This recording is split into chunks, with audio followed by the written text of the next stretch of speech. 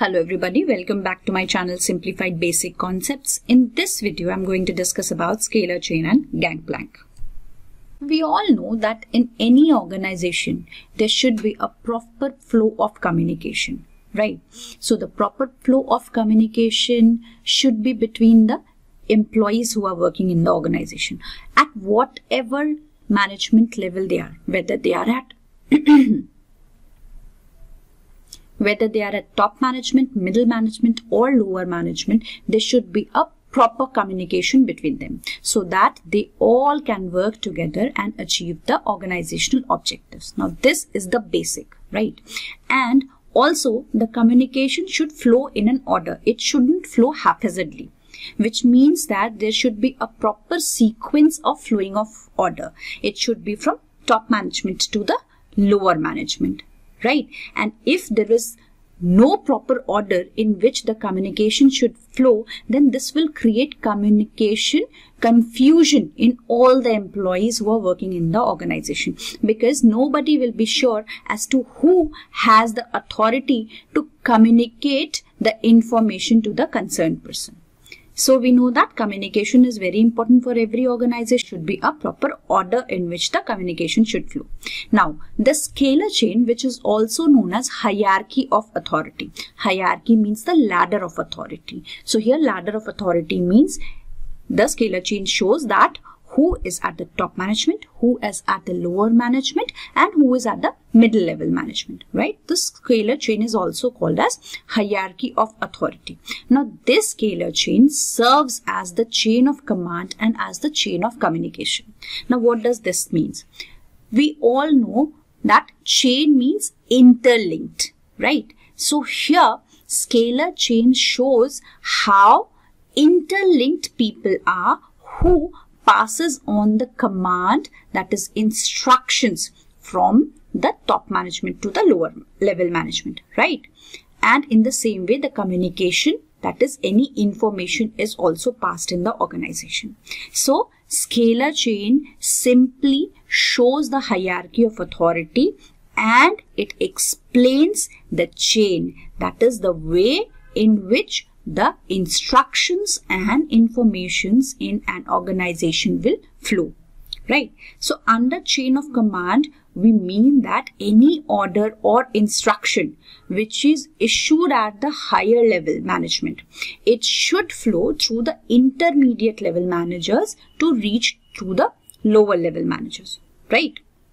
And in the same way the information flow in communication also follows a predefined path. Predefined path means the organizational structure is fixed in the same way how the information will flow in the organization has been fixed earlier, right? So, it should always follow in the same way. Now, what does this means? This means that if there is an any order, any instruction, any message, requests or any explanation which a person wants, then there is a fixed hierarchy in the organization through which these informations will pass and come to the concerned person. Now this is called as scalar chain. Let's understand this with the help of an example.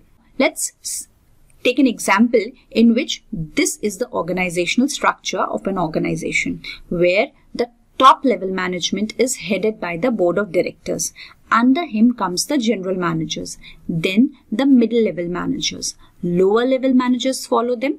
Finally comes the supervisors and the workers. Now we studied that scalar chain is the hierarchy of authority. We see here the hierarchy, a ladder of authority. That is we see here at the top there is the top level management for which is headed by the board of directors and general managers. Then comes the middle level managers, followed by the lower level managers and finally the supervisors and workers. So it is showing the ladder of authority. Now scalar chain simply says that whenever there is any instructions, any command, any communication, then it should always follow this hierarchy of authority. That is, if there is any information which the board of director wants to pass to the workers. So he will have to follow this chain Now, what is the chain? The information from the board of directors will be passed to the general managers. From general managers, it will move to the middle level manager. The middle level manager will pass the information or the instructions to the lower level manager. He will then pass on the same thing to the supervisor. And the supervisor in turn will pass on the message or information to the workers. So it is this way in which the organization works. That is, any information which has to be passed has to follow this proper chain of command or chain of communication. This is what scalar chain says. Now, whatever we have seen here is the flow of authority from top to bottom in one department. Now, let's take an example of two departments, right? Now, in the same way, we see here that at the top level, we see here the board of directors.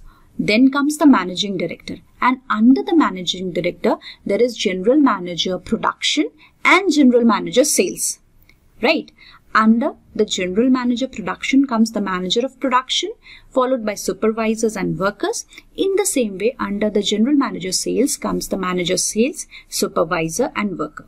Now, here, if any information is to be passed from the board of director to the supervisor of production department, then the sequence pass the information to the managing director. The managing director will pass the same information or instruction to the general manager production. The general manager production will pass on the same thing to the manager production who in turn will give the information or instruction to the supervisor of the production department right? In the same way let's consider a situation in which the worker of production department has to communicate something to the worker of the sales department. Now we know that every department in organization is somehow related so at times it may happen that the worker, supervisor or manager of one department has to communicate with the worker, supervisor or manager of other department. So what is the way in which they can communicate? Should they simply go and talk with each other informally? Is that the way they should follow? Or there should be a proper sequence which should be followed. So the scalar chain says that there should be always a proper way in which any information has to be flown between any departments or in a department itself right? Now we have seen how the information or instruction flows within a department. Now let's understand this when two departments has to communicate how will they communicate? So here if the worker of department production has to communicate something to the worker of department sales. So he will pass on the message to the supervisor of the production department, right? The production department supervisor will pass on the message to the manager production. The manager production in turn will communicate to the general manager production. The general manager production will pass on the information to the managing director. This top level management will get the information. Now from here, the top level management will pass on the information to the general manager sales. The general manager sales will pass the information to manager sales. From there, the supervisor of the sales department will get the information. And finally, the information will be communicated or given to the worker of the sales department. So this is the complete way in which any information, any instruction, anything is communicated in an organization right? And this entire process is followed in the scalar chain. Clear? In scalar chain, it is said that it should always be followed and respected in the organization. And this scalar chain will help in solving the routine and non-routine problems, any problems, any communication which has to be passed on within the department or within different departments the only thing which has to be followed is the scalar chain, right?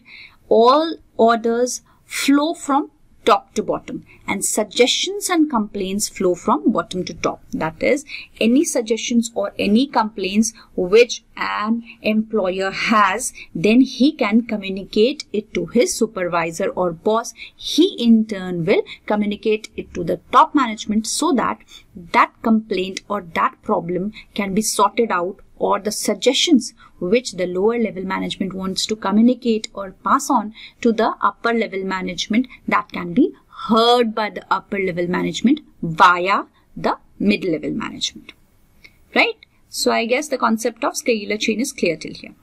Now, if two employees of different departments, like we saw in the earlier example, say production and sales, wish to communicate with each other, they will have to follow a long chain in the principle of scalar chain as we saw in the previous example. Now this change should be followed if the information to be communicated is important for the managers at different levels, right? So when a worker production department has to communicate something to the workers of sales department, which is of importance for the managers and general managers of the both departments too, then in that case, scalar chain is a very important right? Though at times it may seem very lengthy, but the scalar chain confirms that every information that is flowing in the organization, all the employees have that information, right? So nobody is out of loop.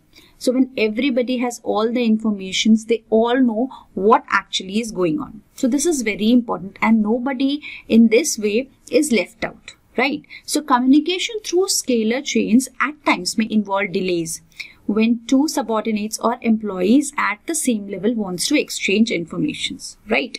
But at times it may happen that some informations or some messages are to be passed on between the employees of the same level which are not of much importance. So at that time, the communication through scalar chain seems very lengthy, very cumbersome, right? So to avoid this, Henry Fayol suggested the concept of gangplank, right? And what did he say? That gangplank is a temporary arrangement of communication between employees of two different departments who are at the same level, right? And what will it do? It will facilitate quick and easy communication between them. Let's understand this with the help of an example. Now we saw this example, right, where the worker of the production department had to communicate certain things to the worker of the sales department and he had to follow the entire chain. And it is very important when the information is of importance which every level employees should know. That is the manager production should also be involved in that information. Then the scalar chain is very important. But we are talking about certain informations which are of not much importance, right? So in that case, Henry Fayol said that the worker of production department can directly communicate with the worker of sales department, right? So here this red line shows the direct communication between the worker of two departments and this shortcut method, this direct shortcut method is called as gangplank right? So here we see that the yellow arrow shows the sequence in which the scalar chain is being followed, in which the, all the employees at all the levels of the management has to follow that in which they all will get the information. But this red line shows the shortcut method in which the employees without following the scalar chain can directly communicate with each other. Right? And this will help in case when the informations to be communicated are not of much importance to the other level managers right? In that case gangplank is very helpful. So i hope with this the difference between scalar chain and gangplank is clear. So do like and subscribe my channel which is simplified basic concepts. Thank you